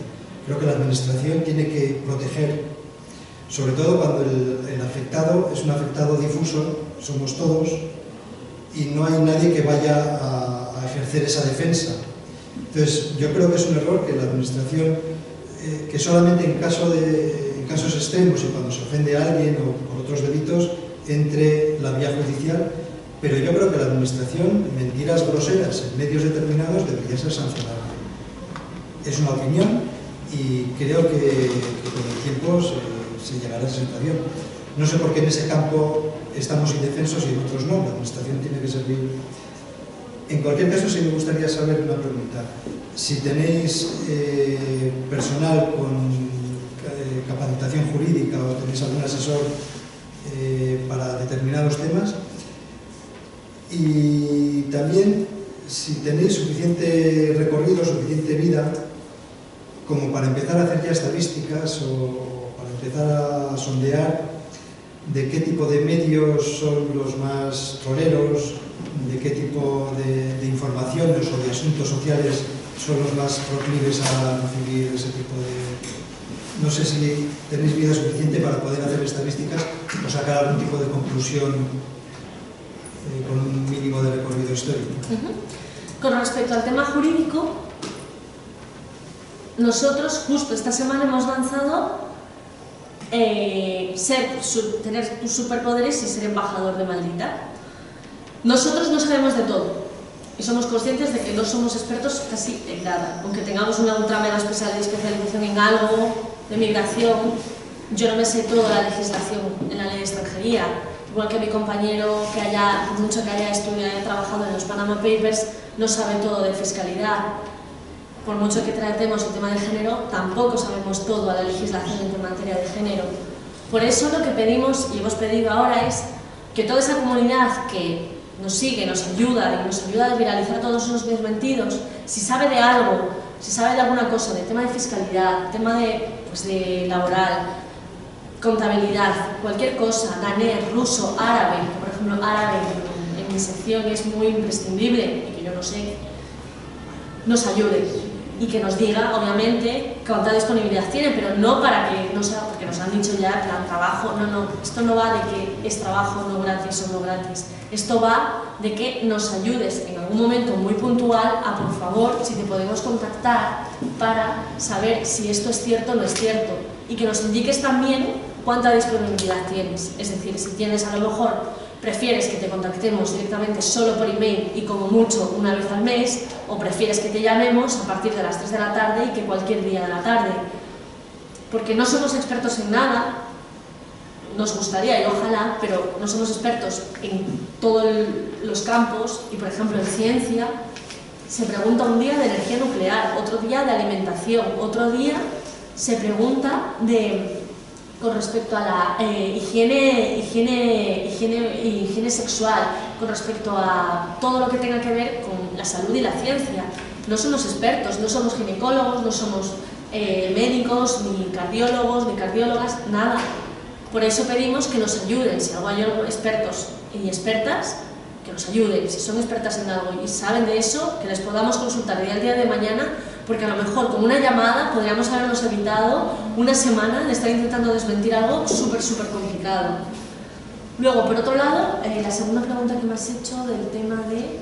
Si podéis sacar ya algún tipo Ah. de conclusión. Con respecto a los datos que tenemos, es, eh, sabemos que de consultas nos llegan unas 200, 300 preguntas diarias, todos los días nos pregunta un usuario 200 usuarios, quiero decir, entre 200 y 300 usuarios al día, si algo es cierto o no es cierto.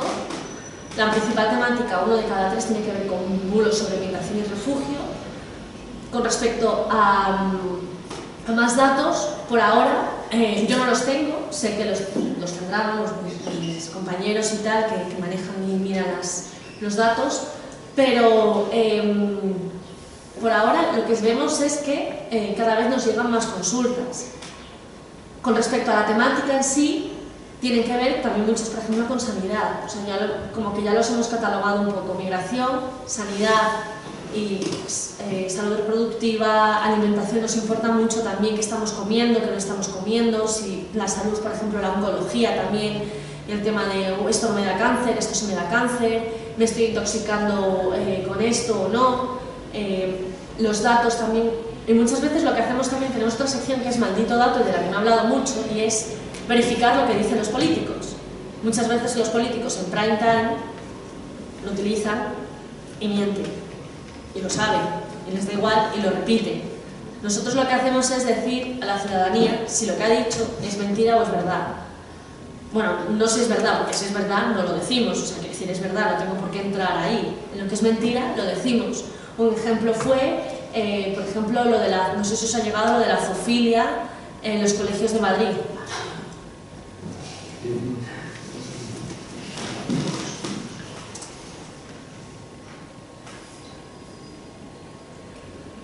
¿Puedo hacer una consulta? Sí, Les voy a hablar como una persona que de periodismo nada, pero he sufrido consecuencias de ello. ujú, Y eso me hace pues, sentirme aludido y, manifestar aquí mi opinión. Cuando un periodista es un obrero, es un empleado que trabaja para una empresa, esa empresa tiene sus profesionales, sus técnicos en todas, los, todas las ramas, en todas.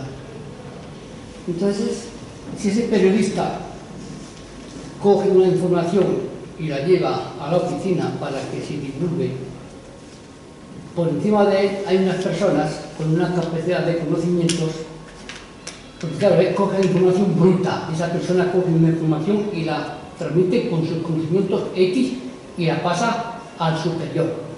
Ese superior debe de tener unos asesores de todos los conocimientos de ciencia o como ha comentado aquí, de, de medicina o de, en fin, de todo, para que antes de que se divulgue vaya bien cribada para que no crea en la sociedad unas informaciones dudosas o malas.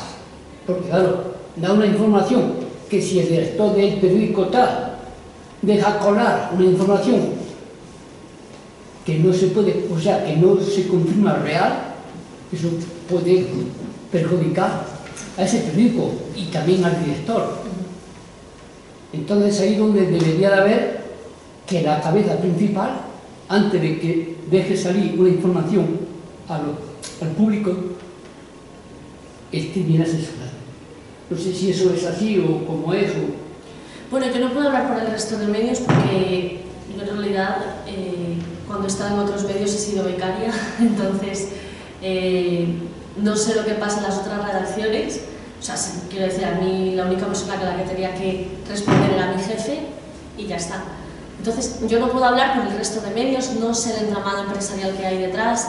Lo que sí puedo decir en Maldita es que Maldita no es una empresa, no, no, no somos una empresa, somos un medio sin ánimo de lucro que nos vamos a convertir, ya nos estamos convirtiendo en fundación para efectivamente cumplir una serie de requisitos que nos exigen muchísima transparencia eh, en, nuestra, en nuestra forma de trabajo, en nuestras, forma- en nuestras cuentas, en, nuestra, en todo lo que tenga que ver con la estructura. Entonces, yo no puedo hablar por los otros medios porque yo no sé, de verdad, no lo sé, el entramado que hay allí, porque además es que no me ha dado la vida para, eh, para estar en medios eh, y, y ocupar un puesto de redacción como tal, de, de redactora, porque he sido becaria muchos. Eh, aquí lo que sé es que eh, nosotros queremos ser fundación y queremos ser eh, sin ánimo de lucro, es decir, no pertenecer eh, que, que maldita no pertenezca a nadie, que no tenga que rendir cuentas pues, a superiores, sino que rinda cuentas a la ciudadanía, en este caso. Sí, pero la información que cogéis vosotros, tal como la cogéis, la transmitís o la... No, porque no podemos, no podemos hacer ninguna vuelta porque lo que damos son datos. Quiero decir, o sea, no, nos lo, no lo podemos, además incluso el método este que tenemos de que cuatro personas lo vean bien, también supone eh, evitarte de sesgos, quitarte los sesgos. Por ejemplo, yo puedo decir, mira, es que esto eh, me parece súper tal, mi opinión. Eh, no, no, es que esto no va a favor, esto no va en contra. Bueno, es que a mí me da igual. Esto es lo que se dice, estos son los datos, son cuatro personas mínimo las que tienen que leer esto y cada una con sus opiniones completamente dispares con respecto al tema. Y esto no va de meter opinión en el, en el contenido, va de que no se incluyan sesgos en los contenidos y de aportar datos y hechos. Con esto, ¿qué quiero decir? Por ejemplo, justo con el tema de, de, la, de una persona, una política que miente, ¿no? Unos cursillos en que, bueno, aquí tengo alguno, por cierto, en que se les dice que, bueno, que tienen que probar a ser niña y a la niña a ser niño y, y todo esto con ocho años y probar nuevas prácticas sexuales y explicárselas a las demás y hablan de zocepilling y para todo esto se lo, lo cuentan, esto se lo cuentan talleres. Claro, lo que dice ahí la, la candidata es que, bueno, candidata, que, mm, que se dan clases de zoofilia a los niños en, la Comunidad de Madrid en los colegios. Aquí yo no te voy a decir me parece bien o me parece mal. Lo que hago es verificar si efectivamente se dan clases de zoofilia a niños, porque es muy escandaloso. Y lo que hacemos es ir a buscar dónde está, dónde se supone que dan clases de zoofilia, quién las daría y de dónde se ha sacado eso. Bueno, todo esto viene porque es una entrevista en una radio y como que todo el mundo dice, ah, esto no me lo creo, qué tontería, ja, ja, ja, pero la tía eh, lo dice. Y además luego el partido dice, no, no, no, es que eh, no solo miente este medio, porque además muchas veces lo que vemos es que se ha utilizado el criterio de mienten los medios, los políticos, para intentar contraponer a la ciudadanía, que puede ser que mientan. Si yo no digo que no, yo no los estoy defendiendo, pero lo que yo digo es que en este caso se usan, los políticos han utilizado ese criterio para que juegue a su favor. Entonces, en este caso dice, mira, es mentira lo que dice esta agencia de comunicación. Además, os adjunto este documento y pone aquí la palabra zoofilia. Si lo ves aquí como tal en pequeñito, bueno, no se ve muy bien, pero pone zoofilia. Sí, ahí pone, a ver si se ve mejor ahí, zoofilia Ah, sí, sí, sí. y pedofilia, en un documento. Lo que hacemos nosotros es ir a buscar ese documento. ¿Dónde está? ¿Quién da esas clases? Y si se dan a niños de 8 años esas clases. Bueno, pues lo que vemos es que este material no se daba a niños de 8 años porque primero, las clases, estos apoyos que se daban eran para alumnos de la ESO y bachillerato. No eran, clase, no eran documentos que se entregasen a los niños, ni a los alumnos de, ni de 8 años, ni de la ESO ni de bachillerato, porque, y tal y como aparece en la guía, explicado, porque nos la leemos y tal, pone que es una guía para una persona que va a ayudar a dar un taller. ¿Y este taller en qué consiste? En eh, intentar luchar contra la eh, homofobia. ¿Y qué pasa en este taller? Que lo que es esta guía es, si en el caso en el que te pregunten por la zoofilia y la pedofilia, digas que son eh, temas que se penalizan, que la sociedad está penalizada, no que la persona vaya a sacar este tema para darlo. Entonces, esto es lo que hacemos nosotros. Es decirte que al menos eso que dice es falso. No te digo que, que en otro lugar no se ve, no te lo puedo decir, pero al menos en la Comunidad de Madrid a niños de 8 años no se dan estas clases, porque además eran talleres de orientación en el que un manual para que supiese qué contestar si le preguntaban en algún caso a algún alumno ese tema, que eran dos palabras de un manual entero. Entonces, nosotros es ahí donde entramos. Nosotros no podemos entrar a, a darle una vuelta más, si te refieres a eso, porque lo que damos son datos. Por ejemplo, con lo de, que he explicado de los nacionalizados. Hemos buscado en las fuentes oficiales el número de nacionalizados y nos dicen que han sido 16.000. Por ejemplo, este documento también. Dicen que esto aquí a la derecha no se entiende porque está en alemán, pero dicen que son billetes para tickets para, para inmigrantes para que puedan ir a burdeles eh, gratuitamente. Sí, Freikarte, sí, sí. Entonces, eh, y que lo dan las instituciones. Son documentos falsos. Eh, FactCheckView, eh, es una plataforma con la que estamos colaborando en Europa, eh, lo ha contrastado y ve que no es cierto. Que ese documento, ese, ese papelito, no existe. Se lo han inventado y lo ha creado alguien. Eso es lo que hacemos nosotros. Nosotros no entramos a los medios, primero porque no es lo que nos pregunta la comunidad. La comunidad nos pregunta sobre todo estas cosas. Si es cierto que ese hombre se ha peleado en el metro de Barcelona, si es cierto que, que, es, es, que la ayuda PIRMI se da principalmente a los, a, los, a los inmigrantes, que es una ayuda en Cataluña que ni siquiera existe ya y que principalmente se ha dado a los, eh, perdón, y que, principal, y que, que no ha podido cobrar, que decía que cobraba muchísimo dinero, 1.800 euros. Es imposible que pudiese cobrar eso, porque haciendo nosotros los cálculos no nos dan. Entonces nosotros entramos a estos testimonios, a estos audios, a esto que nos llega y que nos dicen.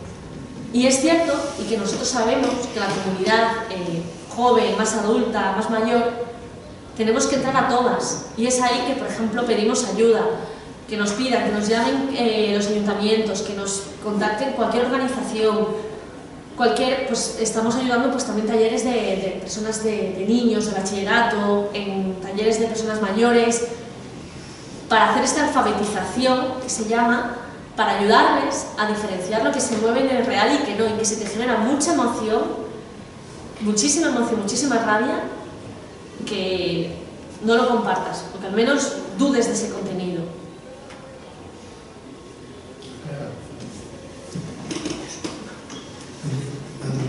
Gasto tendréis en maldita.es. ¿De dónde sacáis dinero? El dinero, espérate que no te viene de Oxfam, de las colaboraciones en los... Bueno, Oxfam, porque yo, o sea, no me, no me da el dinero que da maldita, va, viene de Oxfam, viene del plan, internacional con el que hacemos maldita, maldito feminismo, viene de las colaboraciones de los medios, y aquí es también otra cosa que tenemos que nosotros mejorar, y es que pedimos que la comunidad, si cree en el proyecto, que nos ayude, y nos ayude económicamente, pues con lo que pueda, que cualquier cosa es muy importante para nosotros, desde un euro hasta lo que pueda. Eso, y si no puede, que nos ayude a difundir y a viralizar. Prácticamente es de las colaboraciones con los medios, de los que creen en el equipo, en el proyecto y los que deciden donarnos. Y de hecho conseguimos a través de una recolecta, eh, un crowdfunding por internet, eh, llegar a 75.000 euros para poder convertirnos en fundación y poder empezar a pagar salarios, porque eh, Maldita pasó de ser tres personas o cinco personas en, una, en la casa de, de Julio y Clara a ser una oficina. Entonces nos llevó unos gastos y a ser una oficina con 16 personas y que ha crecido y que es ahora que necesitamos ayuda también. Entonces, lo, de, la, lo es que entendí al principio que la relación con Oxfam era simplemente porque los dos eh, que echan a andar esto eran de Oxfam. No. Sin más. Sí que hay una relación entonces de, en, directa, orgánica con Oxfam desde. Claro, es económica. La única, la único, la único que hace Oxfam es darnos dinero, porque ha creído que es importante eh, entrar en estos contenidos porque cree que y considera que se mueve desinformación. Nosotros le propusimos el proyecto y consideró que sí, que efectivamente, que era un buen lugar en el que podrían invertir dinero. Eh, entonces nos llega Maldita Migración y Maldito Feminismo, eh, dinero a través de Oxfam y Plan Internacional. Y el requisito que se pidió era que no entrase en la línea editorial. Es decir, Oxfam nunca ha entrado para nada en lo que se decide. Lo que se decide es yo, mis jefes y el equipo de Maldita. Mira, yo te quería preguntar, has hablado de un aspecto educativo ahí en la grande, ¿y eso cómo lo tenéis expuesto? O sea, ¿cómo se accede a...? Uy, no me aparece aquí. Aquí. Bueno, si queréis, os pongo el vídeo de Clara, que ella lo explica. Car.es. ¿Por qué una? Educa.maldita.es. ¿Por qué una plataforma de educación en maldita? Porque solo si tenemos las herramientas y la formación necesarias podemos combatir una mentira, porque solo la educación vacuna contra los bulos. Durante los últimos dos años hemos dado más de 100 cursos, talleres y charlas contra los bulos y para que no nos vacunen los políticos, pero nos hemos dado cuenta de que no es suficiente. Tenemos que llegar aún más lejos. Una de las razones por las que Maldita.es se hizo organización sin ánimo de lucro y no empresa fue para combatir juntos contra la mentira, para compartir nuestros conocimientos, para compartir nuestros recursos, combatir juntos la desinformación y aprender juntos en educa.maldita.es. Fact-checking, verificación, transparencia, actualización mediática, periodismo científico. Formas parte de una universidad, un centro escolar, eres un funcionario público, trabajas en una empresa, escríbenos a educa.maldita.es, porque juntos y en todos lados mucho más. Bueno, a mí me parece que ya lo explica muy bien. Eh, es la página web que tenemos, educa.maldita.es, en el que nosotros, bueno, pues eh, podemos ayudar a todo el mundo a verificar, darle las herramientas, enseñarle programas, enseñarle cómo acceder a, a- determinados programas, cómo acceder a determinados lugares que en principio pues, no tienes por qué acceder y ni, saber. Eh, vamos a universidades y centros, a cualquier ciudadano, a los periodistas también. Hemos estado, por ejemplo, eh, con la agencia EFE, formándoles para que sepan verificar también contenidos. Eh, en administración pública y las empresas y agencias de comunicación, porque a ellos también es como que se las cuelan las mentiras. Entonces damos todo tipo de, de talleres, pues, por ejemplo bulos, cómo desmontar un bulo desde el más fácil al más complicado, cómo verificar el discurso público, cómo hacer periodismo de datos. Eh, periodismo de datos es eh, pues, esto, por ejemplo, que veis aquí. eh, sí. Mm.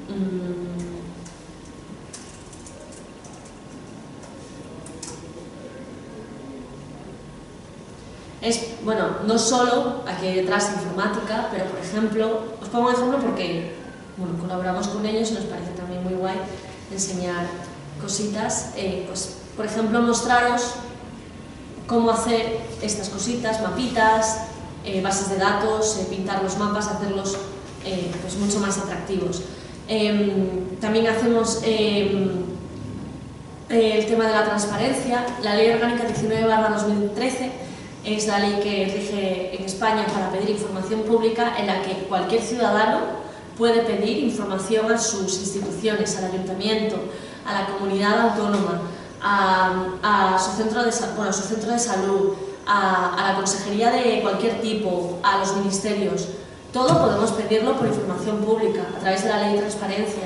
Porque a lo mejor dices, bueno, a un periodista se la dan, bueno, pues tú también puedes pedirla y te podemos ayudar a, y enseñarte cómo pedirla. Tú a lo mejor quieres el número de, no sé, por ejemplo, en unos datos que obtuve fue una base de datos, un listado entero de mujeres que habían, que habían, eh, que habían dado a luz por vía vaginal o por vía, eh, o por vía instrumental. Porque ahora está, el tema que se está hablando mucho es el tema de la violencia obstétrica. Si hay o no hay, bueno, pues vamos a preguntar me pregun- y eso lo podemos preguntar yo y cualquier ciudadano. Pues eso, por ejemplo, también damos talleres para que puedan saber la gente cómo pedir información a su ayuntamiento, a cualquier lugar. Estos somos los formadores, no lo he incluido mi foto, pero pronto hará. Y, por ejemplo, tenemos también cajas de herramientas, te metes en la web y puedes empezar a subir una foto y ver si le hemos... Uy. Eh, mm, mm, mm. Y ver si ya se ha movido. em, un montón de herramientas donde puedes buscar pues, para ir verificando y aprendiendo tú solo. Pero también damos nosotros talleres y, y charlas. Y estos son los lugares en los que hemos estado. No sé si-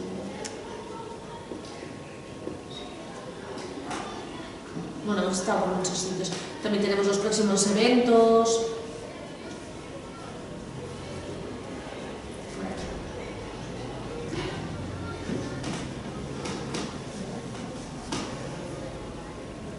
O sea que si nos llamáis estaremos encantados de ir. Pues muy interesante ¿eh? lo que nos has contado. Sí, muchas gracias. Solo no sé si tenéis alguna duda. ¿Algún bulo que os haya llegado o creéis que es bulo? Es que a mí todo me parece bien. Yo desconfío desde el principio. Ya en la cartelera de los telediarios es una mentira. Ya cómo organizan las noticias, ¿no? Yo cada desconfío de cada, una de las- noticias que veo, de todas. Claro, de todos modos cada uno rinde a lo que, a lo que le interesa. Nosotros maldita, pues eso es lo que queremos evitar, ¿no?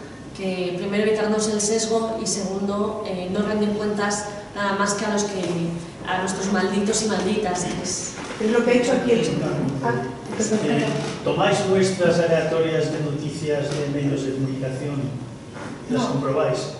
No, si no nos, o sea, mm, No, es decir, si intentáis ser, ser proactivos, tomar muestras aleatorias de noticias y comprobarlas hasta- hasta el final, a ver si es real o no. Eh, como tal, yo personalmente no lo hago. No sé si mis jefes eh, lo hacen monitorizar así de esa manera. O sea, quiero decir que hay veces que te dicen, esto está llegando.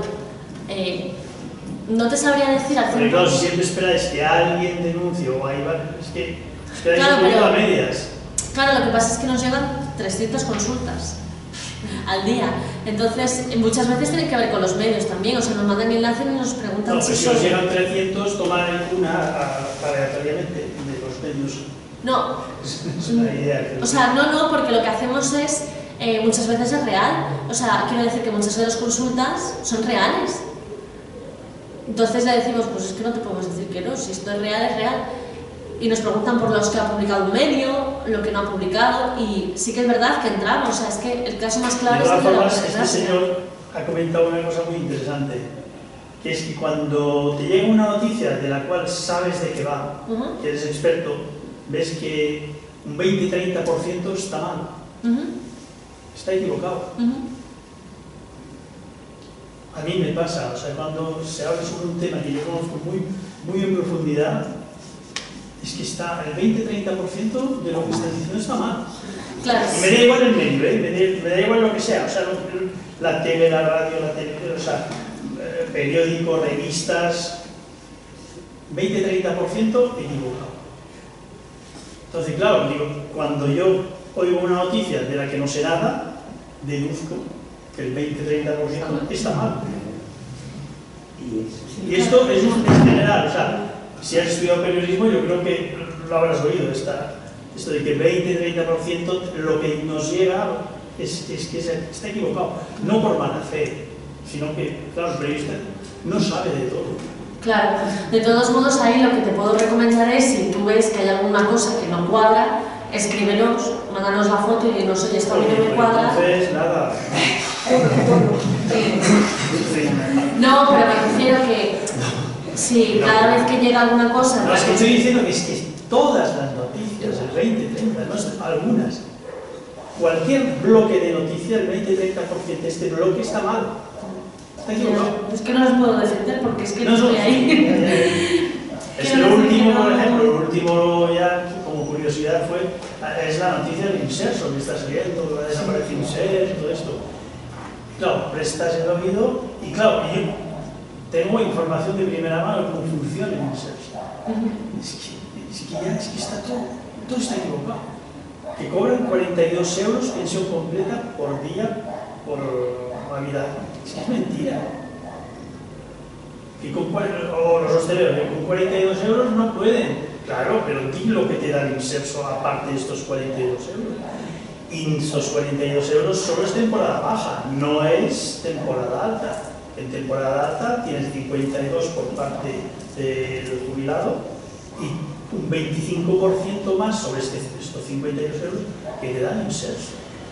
Claro, pero eso, por Sí, ejemplo, claro, y más cosas, pero bueno, esto es un pequeño detalle. ¿no? Estás mintiendo, pero no dicen la verdad. Sí, no, no te la dicen. O sea, vamos a ver, si alguien no te dice toda la verdad, pues está mintiendo, o sea, a mí no me sirve. Claro. Claro, pero por eso es lo que os necesitamos. Primero, porque de avisarnos de eso. Yo quiero decir que yo leo los medios, pero leo más bien, estoy día metida en los bulos. Si no nos ayudáis, yo no puedo meterme ese contenido. Primero, porque el criterio de viralidad, ¿dónde está? Es que no es un Segundo, es, desinformación, no es bulo. claro, Es que pero no, no sé está toda la información para que se sepa para que se sepa el 100% de lo, de lo que se trata, de Sí. cuál es la, la verdadera realidad. Claro, pero por eso es ahí donde vosotros nos podéis ayudar. Es que si no nos preguntáis, nosotros no nos enteramos. Porque yo, de, o sea, yo me entero del grupo de Telegram de mis compañeros que se encargan todos los días de mirar y que nos van mandando. Yo no puedo estar todos los días leyéndome los medios, todas las noticias, todo lo que dicen. O sea, en ese sentido, proactivamente, Yo voy a poner yo- otro ejemplo de me da la cabeza. Eh, mm, hay los jubilados de Bilbao que se quejaban, se quejan. Es que yo con 300 euros no puedo vivir una pensión. Vale, correcto. Pero tú puedes pedir un complemento mínimo. Si no tienes otros ingresos y cobras solo 300 euros, la ley te protege. Puedes complementarlos con 5.000, casi 6.000 euros más al año. Si esta persona está cobrando solo 300 euros, es que tiene otros ingresos. O sea, Es un pequeño detalle, ¿no? Mira, en eso justo nosotros hemos entrado y tenemos una muy pequeña sección que le tenemos que dar muchísimo más recorrido, que es Maldita te explica. Ahí es donde, si vosotros nos ayudáis, nosotros podemos entrar a explicarlo. Primero porque nos decís qué temas os interesan hablar. No para que lo escribáis, sino porque nos ayudáis a decir, mira, esto yo no lo veo, no lo entiendo, esto está muy mal explicado, por favor, podéis explicarlo mejor vosotros. Incluso si tenéis esos superpoderes y sabéis al dedillo, pues eso, el tema de la ley de, pues lo que sea, las ayudas, las ayudas sociales, ayudadnos. Porque cuanto más nos, o sea, a nosotros no se nos pueden ocurrir todos esos temas. No, estamos ahí en una oficina y estamos todos los días, taca, taca, taca, que nos pregunta la comunidad. Cuantas más preguntas, más propuestas, más nos ayuden, más podemos aportar esa luz. Entonces, tenemos Maldita te explica para explicar, por ejemplo, qué sabemos sobre los impuestos de Inditex en España y su supuesta elusión fiscal. Lo explicamos, lo intentamos explicar y decimos lo que sabemos es esto. Por ejemplo, o hacemos cosas, por ejemplo, sin encuestas los cinco días antes de las elecciones desde hace 40 años. ¿Por qué? Pues bueno, porque Fraga decidió que, pues cinco años, eh, perdón, cuando estaba pues, un sondeo, le dejaba en mal lugar y decidió tal. También un poco de meroteca, un poco de contexto. Eh, ahí es donde nos podéis ayudar, porque a veces que no llegamos. Por ejemplo, intentamos explicar el tema de las banderolas. Todo viene porque nosotros empezamos a ver un montón de banderolas de partidos políticos que ya parecía que no, ni existían, ¿no?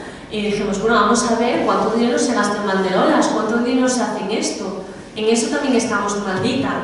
Eh, también, por ejemplo, se movía uno de estos de la estimación de 70 escaños para Vox, que decía que iba a tener 70 escaños, se movía, varios medios lo dieron, bueno, eso entramos en los medios, o sea, y vamos a explicar y decimos, bueno, es que esta estimación era de un tío que hizo una porra. me, me explico, o sea, es opinión personal, o sea, no... Eso es lo que decimos, así que entramos en los medios y damos luz y a lo mejor no podemos decir, porque además muchas veces entramos a la literalidad del contenido. Y por ejemplo, se nos está cayendo un desmentido, se me está cayendo a mí, de hecho venía en el metro, en el bus, porque dice, en la, la web dice inmigrantes y no extranjeros. Y al decir la palabra inmigrante, una persona puede haber migrado y puede recibir esas ayudas. ¿Qué le da...? Entonces eso se me cae. Muchas veces vamos a, somos tan rigurosos para que la contraparte no nos diga es os habéis equivocado y que nos vamos a equivocar seguro, porque en algún momento tendremos que equivocarnos y lo vamos a hacer. O sea, eso es humano y, y como tal lo vamos a hacer. Pero somos muy rigurosos y a veces eh, pues los conceptos muy abstractos no podemos entrar. Corrupción, ah, pues claro, es que yo no te puedo entrar a la palabra corrupción, es que eso está, es que eso yo no te puedo entrar a esos conceptos. Pero a lo mejor sí me preguntas de algo concreto, de evasión, evasión fiscal, puedo entrar. O uno que está, un, un mito, un bulo, es que algo que está súper arraigado es que los chinos no pagan impuestos. Eso, a mí, hasta a mí, a mi madre, a mi tío, a todo el mundo, lo tenemos súper inculcado en, nuestra, en nuestro día a día, que los chinos no pagan impuestos. Y no es así, pagan impuestos como cualquier español. Otra cosa es que su forma de trabajar, que se tire todos los días trabajando, pero es que no es distinto que a cualquier hostelero que trabaja en una terraza y se tira todo el día trabajando. Mi madre mismo trabaja desde las 7 de la mañana hasta las 12 de la noche. Entonces, en eso pedimos ayuda. Por ejemplo, ¿quién puede votar y quién no en las elecciones? ¿Todo el mundo lo sabe? Pues a lo mejor no. Y hay extranjeros que no pueden votar. ¿Qué es eso de la cocina del CIS? Porque los medios lo explican a lo mejor muy mal. Pues sí, vamos a nosotros a entrar a explicarlo. ¿Cómo funciona el sistema DONT? Porque no, hay un lío ahí que nos cuesta hasta entenderlo. Entonces, ahí es donde queremos darle mucho más recorrido y ahí es donde vosotros también podéis ayudarnos a decir, mira, esta, mmm, mándanos una foto, luego ya lo buscamos nosotros en internet, mira, esto es que está muy mal explicado, porque se entiende así y así, a lo mejor no nos da tiempo a entrar al día siguiente, porque tenemos 40 cosas detrás, pero sí que en un momento en el que se repunte eso, en un momento en el que haya mucha confusión, podamos no solo usar lo que nos has mandado, sino si nos dices, mira, usad, contad conmigo si necesitáis alguna cosa, contactarte para que nos expliques, para que nos ayudes. Entonces, todo eso es, es, importante para nosotros y Maldita te explica, pues no tiene mucho recorrido todavía porque ha sido todo muy de repente con las elecciones, seis meses además, muy exhaustos y no nos ha dado tiempo, pero lo estamos explicando y tratamos de aportar ahí luz. Y todo muy didáctico, o sea, todo muy, para que lo entienda todo el mundo. No vamos de... Nosotros no hablamos ni, ni con metáforas ni con nada vamos todos súper didácticos. Sí que es cierto que hay una cultura popular de conocimientos erróneos. El otro día estaba hablando con uno y me decía, no, yo ya he hecho testamento, yo he dejado todo para mi, todo para mi mujer, cuando, me, cuando fallezca, todo es para mi mujer, lo de mi mujer, y, y si fallezco yo, o sea, fallezco yo para mi mujer, es decir, mi mujer, todo para mí. Esto no existe en España, es imposible. Pues eso, por ejemplo, mira... Porque es que este tipo de testamento no existe. Si tienes hijos, no existe, desde luego. La ley no te lo permite. Pero hay mucha gente que se cree que sí, que es así. Pues eso, por ejemplo, nos lo puedes preguntar, no solo por WhatsApp, sino también, es que tenemos muchísimas herramientas, o sea, por herramientas que no sea la biblioteca. Ahí nos puedes dejar una pregunta, que todo, además de mirar WhatsApp, si acaso no te da por el WhatsApp, puedes dejárnoslo ahí, te puedes registrar y dejárnoslo, teclear y poner y esta pregunta de los chinos venía así, de los ciudadanos chinos. ¿Es cierto que los ciudadanos chinos están exentos del pago de tributos al abrir un comercio en España? Parecía muy fácil de desmontarlo, porque dices, bueno, esto es bulo, pero es muy fácil de desmontarlo. Pero ojo, dice al abrir un comercio en España. Ahí hay que entrar porque hay exenciones, pero las exenciones son iguales para los chinos eh, y para los españoles. Pues no, o sea, sí, son iguales, quiero decir. Entonces, vamos muy literal y nos puedes dejar la pregunta ahí. Preguntas, pues eso mismo. Es cierto que la, el testamento, no sé qué, no sé cuál, igual. Vosotros eh, contactáis con la administración para, para, Claro, ahí por ejemplo nosotros nos miramos la legislación, contactamos con la administración. Eh... Es que lo ideal sería que el ciudadano contactase directamente con la administración y eso a veces no contesta. Claro. Estas cosas no te, Claro, no, de hecho a veces nos dicen a nosotros, nos dicen, pero bueno, vamos a ver, nos contestan súper mal, pero sí, digo, sí, ya, ya, ya. me da igual, no, digo, yo no lo entiendo. Me ha pasado de poco. Claro. Preguntando, eh, esto, léete el BOE. Joder, Claro. Pues ahí nosotros hacemos intermediarios un poco para entenderlo, machacar el contenido y poderlo dar después. Sí, como quieras.